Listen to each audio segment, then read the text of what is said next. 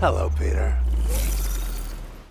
Welcome back, everyone. This is going to be my new Spider Man No Way Home Marvel video. They just released a couple of new scenes with Dr. Octopus. They also confirmed Sandman in a slightly different way, so I'll explain that. And we also just learned this amazing story about Andrew Garfield's Amazing Spider Man 3 movie that they almost wound up making that involves Kevin Feige in this really crazy Marvel retreat to try and come up with a way to convince Sony to let them make the next Spider Man movie.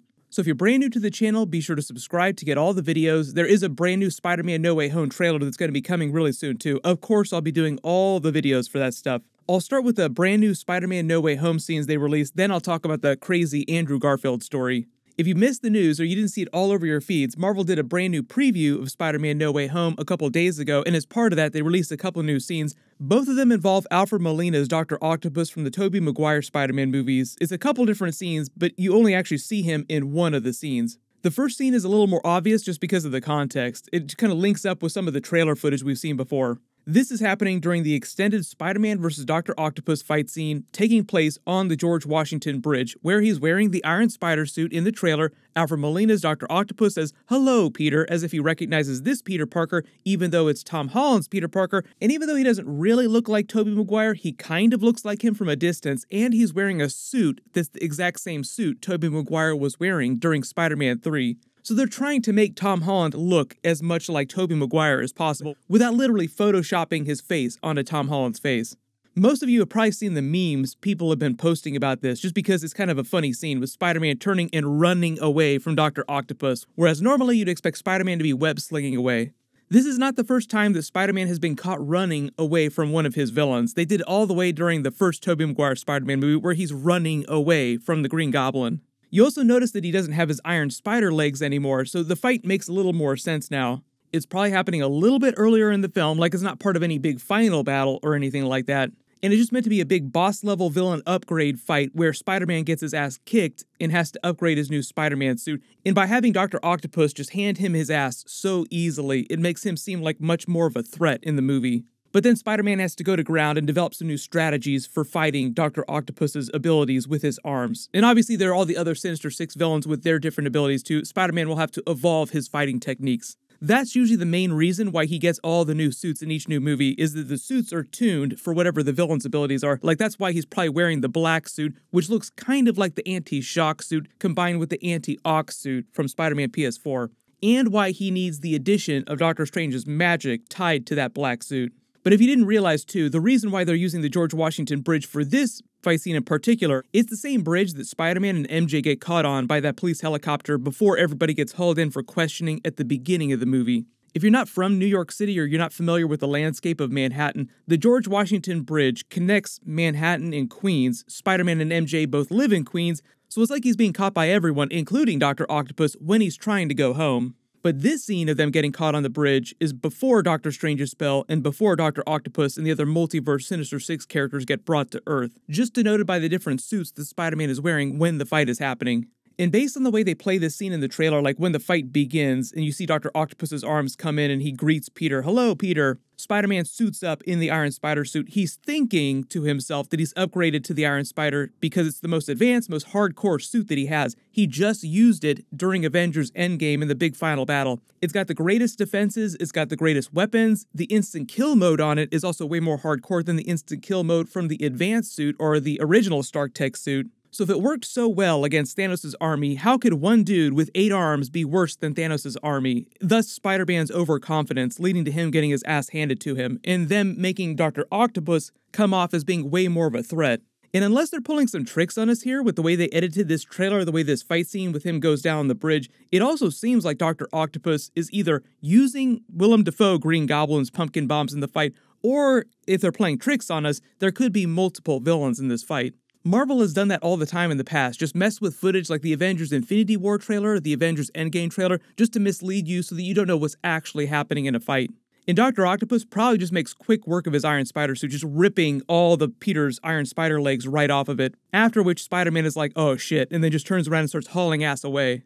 And they're just playing this as a funny moment because the bridge that he's on doesn't really have anything for him to swing off of, so he has to literally run. You also probably remember during Spider Man Homecoming, they used this funny twist with him literally having to run across the golf course because there was nothing for him to swing off of. This sucks. The other new scene that they released as part of this preview is of Spider Man in the advanced suit. They're just calling the new Steve Ditko red and black suit the advanced suit now. He's gone back to that suit. He's not wearing the mask. He's all bloodied up, and he's in the middle of a different fight with probably Dr. Octopus. The reason why I think this is Dr. Octopus he's fighting, crouched down in this fighting stance, is because if you look closely at the metal platform that he's standing on, zoom and enhance, it looks exactly like Dr. Octopus's fusion reaction platform from Spider-Man 2. The last time we saw him in that movie, he had pushed the platform into the East River and was sinking with it down to the bottom. Alfred Molina kind of gave away or spoiled the Dr. Octopus plot the beginning of Spider Man No Way Home, however you want to think about it. Kevin Feige was not amused. He said that the story of his Dr. Octopus in Spider Man No Way Home begins right after he went into the river at the end of Spider Man 2. Like for him, when Spider Man No Way Home picks up, it will be as if no time has passed for him at all. That's why he's wearing the exact same trench coat. He looks the exact same. They're using special effects to de age him almost 20 years to make him look the exact same. But all the patterns, the structures on this fusion platform just look the exact same as the structures Spider Man is standing on. So when Doctor Strange's spell to make everyone forget Peter Parker as Spider Man starts working and he starts weaving together aspects of alternate timelines, alternate universes, also inadvertently bringing all the Sinister Six characters from the Tobey Maguire Spider Man movies and the Andrew Garfield Spider Man movies, and Dr. Octopus legit shows up inside the MCU, Doctor Strange probably just accidentally brought his fusion platform with him. When they released these new scenes, Tom Holland also did this special interview where he previewed the special new mystery character that they haven't announced in the film yet. He said some of his favorite scenes to film in the movie were with this new special mystery character. I actually think that he's talking about Andrew Garfield's Spider Man because he's talking about having dinner with Aunt May, with Happy Hogan, and this mystery character. And how the conversation they're having is about what it means to be a superhero. And that just seems like the way they would use Andrew Garfield and Tobey Maguire's Spider Man characters in the movie, helping Tom Holland's Peter Parker Spider Man understand what it really means to be Spider Man. The other really cool thing that they just did on the sly was kind of confirm Sandman with one of these big covers. So if you look at the artwork here, you can actually see what looks like Sandman's hand rising out of all this Sinister Six art. We've all seen the trailer a billion times, and I think we're all in agreement that this figure here that's forming here, this earth that's coming together, isn't a giant dust cloud, it's actually Sandman forming into a giant face. It's just that during this fight, Spider Man also seems like he's fighting Jamie Foxx's Electro because of the yellow lightning, and he's also wearing the black suit too. There's supposed to be a new Spider Man No Way Home trailer soon. They'll either release it with the Eternals movie real soon or later in November with the Sony Ghostbusters movie. But during that new footage, we'll probably get more legit Sinister Six characters and it will give us more context for how they're all coming together and what's really going on. Jon Watts, the director, said that behind the scenes at Marvel, they're calling the movie Spider Man Endgame because it's so big in scope. Like, what did Avengers Endgame mean for the Infinity Saga movies? This is the same thing, but for the Spider Man movies. I just did a separate Spider Man video where Tom Holland was kind of explaining how this was going to work. Like, if we come back and we do more movies, it'll be a completely different vibe, a completely different story. I'll add a link for that video at the end of this and down in the description.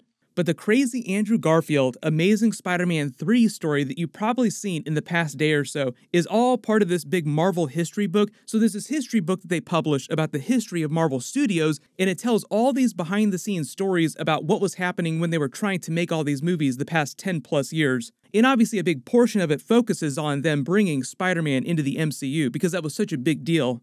The story goes that back in 2014, when Sony was getting ready to make Amazing Spider Man 3 with Andrew Garfield and their separate Sinister Six movie, Kevin Feige held a special retreat for the Marvel Studios people where they tried to come up with a way to convince Sony to let them have the Spider Man character. Like, what can we do to stop them from making Amazing Spider Man 3 and convince them to let us make a new Spider Man movie that's completely different?